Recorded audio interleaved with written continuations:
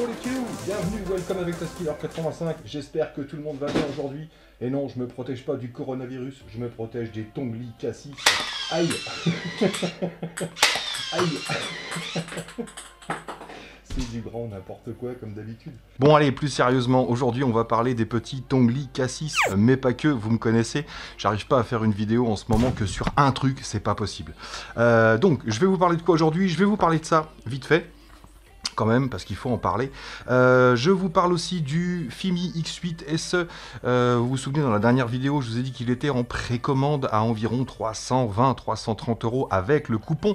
Il faut pas oublier le coupon, bien sûr. Il y en a qui m'ont dit, oui, il n'est pas à ce prix-là. Ben, mets le coupon, tu vas voir, c'est mieux. Euh, bref, donc il y a eu des commandes d'annuler. Donc j'ai discuté de ça avec Mariette ce matin. Euh, et elle m'a dit que, excusez-moi, je suis mal rasé, confinement oblige, je fais comme tout le monde, j'oublie de me raser. Bientôt, ça va être les cheveux jusque-là, mais bref, on n'a pas le choix. Euh, donc j'ai discuté avec Mariette, et en fait, euh, il s'agissait d'un souci informatique qu'ils ont eu pour les commandes qui ont été annulées. Donc n'hésitez pas à repasser commande, ça va bien se passer, vous inquiétez pas. attendez votre remboursement si votre commande a été annulée, et la commande va pouvoir se repasser, bien évidemment. sinon, attendez peut-être un tout petit peu, parce que j'ai ouï dire que il y aurait peut-être une offre promotionnelle là, mi-avril, euh, à moins de 299 dollars, ou à 299 dollars, ce qui correspondrait à 280 euros à peu près. Et alors là, ce serait une offre défiant toute concurrence. Donc, si vous voulez être sûr d'avoir votre Fimi X8 SE avant les autres, N'hésitez pas à passer une précommande maintenant, euh, on sera à 30 euros près pratiquement, mais euh, déjà, c'est pas sûr hein, pour la promo à 299 dollars, mais j'ai ouï dire. Donc, je serais vous, j'attendrai peut-être un petit peu. Donc sinon, vous pouvez y aller, vous pouvez commander, il n'y a pas de souci. Euh, moi, les colis mettent du temps à arriver, mais ils sont bien partis de Chine. Euh, c'est après, c'est euh, arrivé en France. Les Colissimo, par exemple, moi, ça fait à peu près une semaine que mon Colissimo est en traitement dans les points Colissimo. Donc, c'est pas en Chine que ça bloque pour l'instant, c'est plus arrivé en France dans les transits. En ce qui concerne ces petites protections, moi j'avais commandé ça il n'y a pas très très longtemps, euh, une petite casquette visière, bah oui pourquoi pas, pour aller chercher du pain, pour aller euh, je ne sais pas où, vous savez, moi j'anticipe plutôt pas mal, euh, j'avais commandé des masques, moi j'ai des masques à la maison parce que j'ai dépanné la famille, j'ai dépanné des amis, donc j'ai quelques masques à la maison, j'ai cette protection ici avec une petite visière, et j'ai un ami qui m'a demandé si je pouvais lui imprimer, vous savez, des petites protections comme ça, sur lesquels on va pouvoir installer des visières tout simplement. Donc les visières, c'est juste, euh, vous savez, des intercalaires transparents. Euh, donc pour ceux qui veulent s'en fabriquer ou en commander, c'est, il faut prendre, je crois que c'est du 150 ou 200 microns, mais en hyper translucide, euh, super clear, je crois, pour que ce soit vraiment bien transparent. Et donc, euh, ces pochettes translucides, ces intercalaires, vous aurez juste à les percer à certains endroits pour pouvoir venir les clipser euh, sur ces différents euh, petits plots. Donc, choses qui ont demandé aussi dans les hôpitaux. Moi, je ne peux pas fournir tous les hôpitaux, bien sûr, mais j'en ai fait quelques-unes pour dépanner certaines personnes qui m'en ont demandé. Et voilà ce que ça fait une fois terminé. Donc on a le produit fini, vous voyez la visière est dessus. Donc il n'y a pas de souci, ça se clipse sur la tête, il n'y a même pas besoin d'élastique, ça tient tout seul. C'est plutôt sympa. Mais sinon, si vous voulez vous en fabriquer un, j'ai ma petite astuce. Regardez, la voici, la voilà. Donc là, c'est vraiment le prototype, mais c'est vraiment tout simple à fabriquer. Il vous suffit d'avoir une casquette, donc ça, vous avez des casquettes. Après, euh, vous allez me dire, la casquette, il peut y avoir du virus dessus. Oui, euh, la casquette, euh, soit vous avez plusieurs casquettes, vous la laissez dans votre garage, un petit peu de produit alcoolisé dessus, et vous la laissez une journée ou deux dans le garage, et elle sera désinfectée. Mais au pire des cas, la casquette est sur la tête. Donc même s'il y a du virus, vous savez que quand vous manipulez ensuite votre casquette comme un masque ou autre, vous avez juste à vous laver les mains tout simplement et vous laissez votre casquette dans le garage. La visière, vous pouvez soit la changer, soit la nettoyer avec de l'alcool, un produit vitre ménager à l'alcool par exemple. Mais bref, après toute manipulation, euh, vous vous lavez les mains tout simplement et vous la mettez dans un endroit où vous n'allez pas euh, dans le garage, c'est très bien. Donc comment se fabriquer ce, ce petit chose? Bah écoutez, c'est tout simple. Vous allez prendre une petite feuille moi, je vais défaire le mien. Donc là, j'ai mis trois pinces rapides pour le faire tenir, mais on peut imaginer une agrafeuse, puisque ça peut rester à demeure. On peut imaginer du scotch. À vous de faire travailler votre imagination pour le fixer. Mais pour le fabriquer, c'est simple. Regardez comment c'est fait. Vous prenez votre feuille A4 translucide, vous voyez, à l'étape là. Donc, vous retirez une épaisseur, puisque généralement, c'est des pochettes, donc il y a deux épaisseurs. Donc, vous retirez une des deux feuilles. au ciseau, vous découpez tout simplement. Et ensuite, vous allez juste faire une pliure ici sur hop, les rabats, là où il y a les trous, et faire des petits coups de ciseau, tout simplement, tac, tous les 2-3 cm. Moi, je l'ai fait en fonction des trous, vous voyez, pour pouvoir faire un arrondi, comme ça, avec les petits pattes sur l'extérieur. Et ensuite, bah, vous avez compris, c'est tout simple. On va venir installer notre visière sur la casquette, tout simplement, et mettre les petites pinces là où ça nous intéresse, les pinces ou les fixations. Tac, bêtement. Voilà, et on a notre visière. Attention, je change de casquette, je suis multi-casquette. Et voilà ce que ça donne, une fois installé. Donc là, vous m'entendez un peu moins bien, je vais parler un peu plus fort. Et voyez, l'avantage, c'est que ça protège bien, même sur les côtés, avec une 21-29.7. Donc on a notre protection antivirus et anti-tongli. Tout ça pour dire, protégez-vous, voilà, prenez soin de vous et de vos proches, bien évidemment. On va pousser la gapette. Et surtout, euh, prenez garde au déconfinement. Voilà, quand euh, moi je sais que quand euh, Macron ou d'autres vont dire c'est bon, on est déconfiné, moi je vais prendre mon temps et je vais quand même continuer à me protéger un petit peu. Je vais pas tout de suite courir tout nu dans la rue. Hein. Donc faites comme vous voulez, mais protégez-vous, prenez soin de vous, bien sûr. Allez, on parle des Tongli Cassis. Alors, pourquoi j'ai reçu les Tongli Cassis Parce que j'ai commandé les Tongli Cassis. Et ouais, quelle erreur C'est pas les Cassis que je voulais, c'était les K5, ceux avec les petites pinces devant pour jouer au foot ou au basket. En attendant, j'ai reçu ce que j'avais commandé, c'est bien fait pour toi Tazu, t'avais qu'à faire gaffe à ce que tu commandes. Donc j'ai reçu les Tongli K6 qui sont là, qui sont des lance-balles de ping-pong, ça vous l'avez vu vite fait dans une petite vidéo que je vous avais montré. D'ailleurs, je tiens à dire que ces Tongli Cassis ne sont plus à moi, vous le savez. Il y en a un à Hervé Leroux et l'autre à Pelowan, qui avaient tous les deux trouvé euh, de quoi il s'agissait dans ma petite vidéo euh, Devinez qu'est-ce que ça c'est que c'est. Donc ces petits Tongli Cassis, qu'est-ce que c'est? Donc le voilà, tout nu, original. Là, sur celui-ci, on a la caméra FPV, vous savez bien. Donc bah, qu'est-ce que c'est? C'est un petit robot plutôt pas mal, bien assemblé, avec un corps complètement en aluminium, et puis des pièces plastiques, bien sûr. Mais donc tout le châssis est en aluminium, des petits trous caoutchoutés et un petit jeu d'engrenage et de moteurs. Donc sur celui-ci, on va avoir trois moteurs, un pour chaque roue et un ici pour euh, monter descendre et également un quatrième, bien sûr, à l'intérieur qui permet d'activer le lance-balles. On va pouvoir stocker à l'intérieur jusqu'à 4 voire 5, euh, je crois que c'est 4 maximum Là, il y en a deux, une dedans, trois. Ah, peut-être bien une quatrième. Ah oui, les autres, je les ai balancés. je me suis, tiré dessus. Hop, et une cinquième. Voilà, on va pouvoir en mettre 5 en tout, donc vous avez 5 tirs possibles si vous avez des balles de ping-pong d'avance. Donc ça vous est livré dans une petite boîte dans laquelle vous allez trouver Hop là, un petit chargeur de batterie. Vous aurez avec une batterie 500 mAh 3V7, une batterie basique, j'ai envie de dire.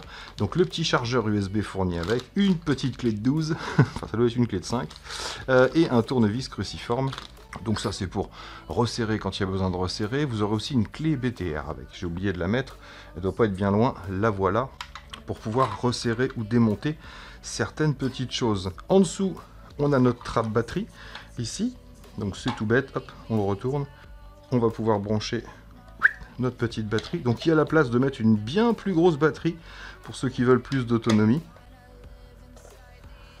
Et le petit tournevis sécurisé, paf Donc voilà, notre petit onglet est prêt à être utilisé. Je vais vous montrer ça bien sûr.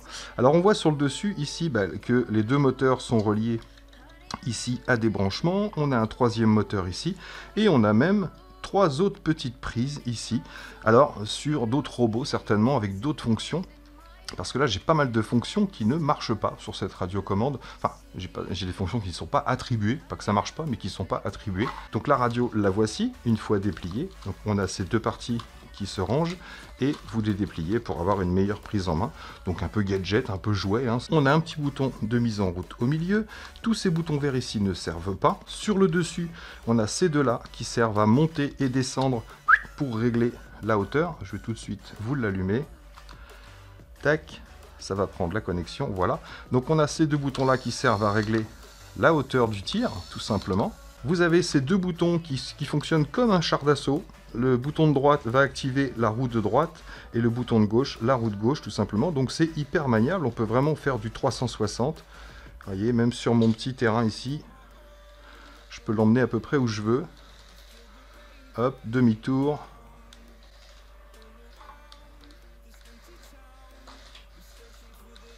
Hop, le voilà. Donc c'est vraiment super maniable, un char d'assaut. Euh, vous avez ces boutons-là qui ne servent pas, et ceux-ci qui sont des, euh, on va dire, des boutons de précision. Ça veut dire que si on appuie sur la droite là, il va tourner tout simplement un peu, hop, sur sa droite ici, mais tout doucement. Le bouton de gauche fait pareil, mais sur sa gauche, voyez, je maintiens appuyé, et là, hop, tout doucement sur la gauche. Celui-ci va aller en avant, tout simplement, mais pareil, tout doucement. Et le bouton du bas, qui va servir à tirer. Regardez. Bam Donc on voit que le tir c'est un piston, le moteur ramène le piston et quand j'appuie, regardez. Bam Ça on voit. Combien de temps ça va durer euh, Je ne sais pas. Pour l'instant ça fonctionne. Donc voilà, le fonctionnement est assez simple. Donc je creuserai peut-être un peu pour savoir à quoi servent ces, autres petites prises-là, si elles sont affectées à quelque chose. Mais pour l'instant, sur celui-ci, ça ne sert pas. Donc on voit ici notre petite roulette articulée qui permet justement de faire du 360 sans problème. La petite roulette va suivre automatiquement. Donc c'est plutôt marrant, c'est plutôt bien fait. Quelle utilisation? J'en sais rien. Mis à part euh, se mettre des cibles dans le salon euh, et essayer de viser les cibles chacun son tour pour essayer de faire des points. Ou euh, style de panier de basket pour essayer d'aller mettre des points, un carton, je ne sais pas. donc à quoi ça sert? Ping-pong, je pense pas. Vous n'allez pas le mettre sur votre table de ping-pong à vous envoyer des balles? Je sais pas, parce qu'il faut recharger au bout de 3-4 balles. Donc euh, quel intérêt? Je ne sais pas, mais ça existe, donc je vous en parle tout simplement. Donc voilà, l'autre petit intérêt que j'ai trouvé moi, c'est de lui installer une petite caméra FPV. Donc là vous la connaissez, c'est la petite Cadix que j'avais installée sur mon euh, hydroglisseur, avec un petit VTX à l'arrière, moi j'ai mis un gros VTX, vous mettez bien ce que vous voulez. Enfin, c'est tout simple à installer. Hein. moi, je l'ai mis comme ça parce que mon fauteuil était tout près. Mais voilà, c'est pas compliqué. Vous avez beaucoup, beaucoup de place sur ce petit engin pour pouvoir installer une caméra FPV avec un VTX. Et pour l'alimenter, moi j'ai juste mis une petite batterie 7V 4 ici en 2S. Et donc ça permet de s'amuser un petit peu plus. Forcément, en FPV, c'est un petit peu plus marrant. On va aller se faire une balade, voir s'il y a du monde dans le salon ou dans la salle à manger. On peut aller en le monde un petit peu et s'entraîner au tir, justement, puisque la caméra, bah, vous l'orientez de la même façon que le tube lanceur, comme j'ai fait là, euh, de façon à pouvoir vous aligner et essayer de viser à peu près à vous, de, de connaître un peu la puissance de l'engin. Ça envoie une balle jusqu'à 2 mètres, 2 mètres 50 à peu près. Donc il y a quand même une bonne petite puissance. Donc à vous, après, d'imaginer des jeux pour ceux qui sont intéressés par ces petits onglis, qui sont intéressés par le bricolage, euh, parce que ça doit pouvoir se démonter, se remonter, euh, se modifier, etc. Et on verra très bientôt, puisque j'ai réussi à les avoir, les tonglis K5, donc avec la petite pince à l'avant pour récupérer les balles, qui les charge dans le canon et qu'on peut retirer avec. Donc là, ça va plus être intéressant au niveau de l'interactivité pour pouvoir jouer à deux. Voilà, on s'improvisera un terrain, je verrai avec un, pote si on n'est plus en confinement, sinon j'embaucherai ma femme, et euh, on essaiera de se faire un petit match où il faut tirer dans des buts ou dans un panier et récupérer les balles pour pouvoir les relancer à nouveau. Là, il y aura un peu plus d'interactivité, je pense, parce que là, une fois qu'on a lancé les balles, euh, pas moyen de récupérer les balles avec l'engin, donc euh, c'est un petit peu plus relou. Donc c'est parti, on se fait un petit tour en FPV pour tester tout ça. Ça y est, on est installé, donc avec la hauteur, on va pouvoir régler notre caméra, on va la mettre en face dans un premier temps, et on est parti en balade. Je manie doucement, là j'ai pas mis une grosse ouverture, Il faut s'habituer au pilotage char d'assaut, bien sûr.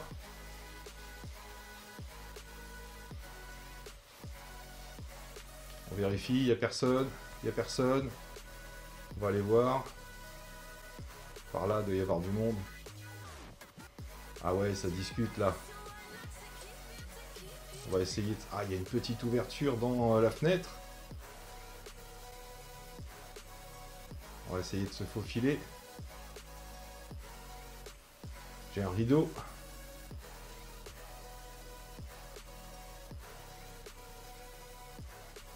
Est-ce que je peux passer Ça marche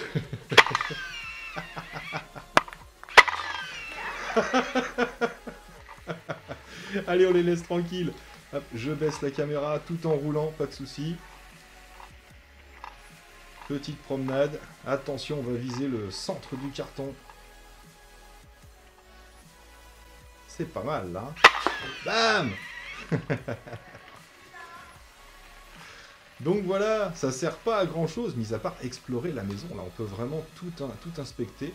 Ma fille Tu vas passer sur YouTube Je flouterai son visage, puisqu'elle veut pas passer sur YouTube. Allez, on rentre à la maison. Tac, nous y voilà. Donc ça se manie plutôt pas trop mal. Hop Petit 360. Hé hé Donc voilà les amis pour ces petits Tongli K6. Vous allez me dire ça sert pas à grand chose. Qui c'est qui rigole là? Bam Allez, pleine mouille. ne me cherche pas. Eh ouais, réglage. Tire. Ah, pas mal, hein Donc je vais bientôt les expédier aux deux gagnants, hein, je répète. Hervé Leroux, si tu m'entends. Hervé Et Pelo One. Euh, donc ces deux-là, là, il va falloir qu'ils me contactent euh, par email pour me donner leurs coordonnées. Et je vais voir si je leur envoie rapidement ou si on attend un petit peu la fin du confinement. Euh, parce que pour l'instant, je vous dis, même les Colissimo mettent un petit peu de temps à arriver. Mais bref, ils sont à vous, Hervé et One, il n'y a pas de souci. Je récupère ma caméra FPV, par contre, ça, c'est pas cadeau. Bref, donc voilà, j'espère que cette petite vidéo vous aura plu, ça vous aura passé le temps un petit peu et détendu. Bien sûr, on se retrouve très bientôt, car j'attends pas mal de petites livraisons, pas mal de petits colis. Je pense qu'ils vont arriver tous en même temps. en attendant, on improvisera. Euh, prochaine vidéo, euh, barbe de 8 semaines. Et non, merci à tous d'être là, merci encore à vous d'avoir suivi cette petite vidéo. Et moi là-dessus, il me reste plus qu'à vous dire surtout, portez-vous bien, prenez soin de vous et des autres. Et à bientôt dans mes vidéos. Ciao, ciao